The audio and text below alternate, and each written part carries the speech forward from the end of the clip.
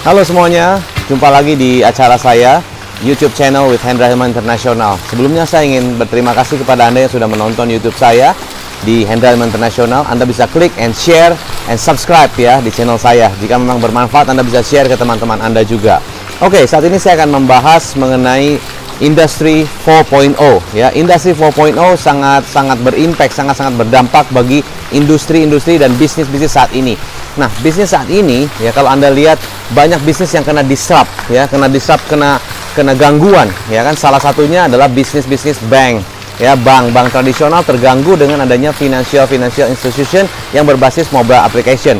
Nah, mereka mereka ini memasuki bisnis ya dengan menggunakan teknologi dan IT ya mobile aplikasi ya membuat customer semakin lebih nyaman semakin lebih efisien semakin lebih semuanya one hand ya. Jadi dalam satu genggaman itu mereka bisa memasuki pasar-pasar bank bahkan ada survei berkata bahwa satu dari tiga millennials atau orang-orang gaya millennials mereka itu akan men-switch bank. Jadi akan berpindah ke bank lain atau kan berpindah dari bank satu ke bank lain untuk gara-gara lebih lebih efisien, lebih simple, lebih nggak banyak ribet gitu loh ya. Itu namanya generasi milenial. Perubahan-perubahan yang terjadi saat ini ya dan 33% dari mereka mereka bilang saya nggak terlalu butuh bank tradisional. Saya lebih gampang sesuatu bisa di tangan saya. So very very simple, very efisien, sangat-sangat memudahkan sekali ya. Nggak ribet yang paling penting begitu.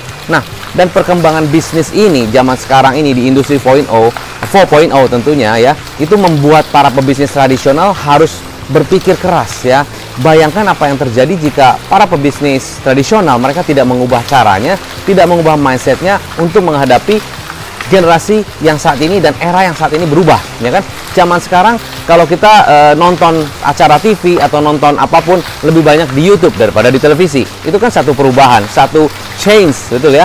Dan zaman sekarang orang kalau mau pesan makanan tinggal simple aja tinggal pesan dari satu aplikasi. Semuanya bisa terlayani dengan baik ya very very simple. Itulah perubahan ya. Dan industri e-commerce ya saat ini mencapai itu di Southeast Asia ya. Di negara Asia Tenggara Amerika sorry di Indonesia Filipina Thailand ya kan Singapura Malaysia. Penju, uh, penjualan daripada e-commerce ya khusus di Southeast Asia itu benar-benar sangat-sangat luar biasa. So itu akan berkembang terus dari tahun ke tahun. Nah so pertanyaannya apakah yang akan terjadi kepada bisnis-bisnis tradisional yang mereka tidak mengubah atau belum mengubah mindset mereka, belum mengubah cara mereka, belum mengubah gaya mereka, bahkan bisnis model mereka masih gaya dulu. Apa yang akan terjadi?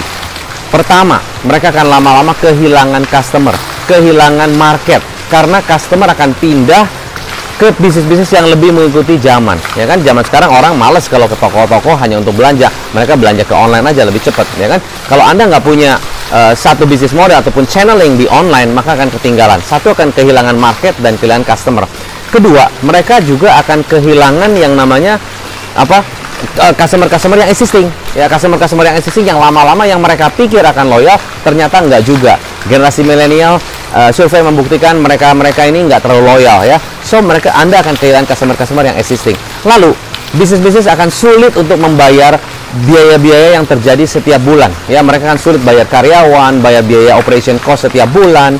Lalu mereka juga akan sulit membayar pembayaran-pembayaran untuk uh, pembayaran ke supplier karena cash flow-nya sulit gitu ya. Lama-lama bisnisnya bisa tutup. Nah, Jangan sampai Anda sampai seperti itu karena tidak menyesuaikan dengan kondisi saat ini, ya industri 4.0.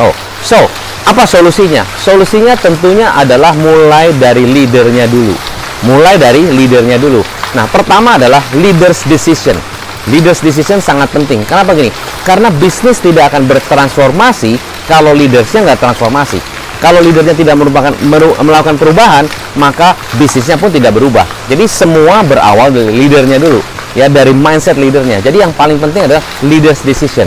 Leader decision itu apa? Untuk mengupgrade. Upgrade apa? Upgrade produknya, upgrade bisnis modelnya, upgrade timnya, training timnya. Mungkin perlu di coaching lagi ataupun perlu dibantu lagi mereka supaya bisa mengadaptasi dengan kondisi zaman sekarang. Bisa jadi perlu melakukan research bagaimana kondisi sekarang, bagaimana customer-customer yang generasi milenials yang mereka banyak pindah ke sana, pindah ke sini, mereka banyak kritis ya. Mereka juga bisa mencari sana, mencari sini sebelum membuat keputusan, mereka mencari sana sini ya kan. Jadi itulah yang harus kita pikirkan executive decision ataupun leader decision. Nomor satu. Nomor kedua adalah leaders transformation. Bukan hanya keputusan untuk merubah, bukan hanya keputusan untuk mengupgrade, tapi juga bertransformasi Artinya apa? Kita mengupdate ilmu baru, kita mengupdate teknologi baru, kita mengupdate juga skill baru. Ya, banyak leaders yang sudah merasa cukup. Wah, saya udah oke okay deh. Perkembangan bisnis saya sudah bagus. Saya sendiri skillnya sudah cukup. Mereka nggak mau belajar lagi.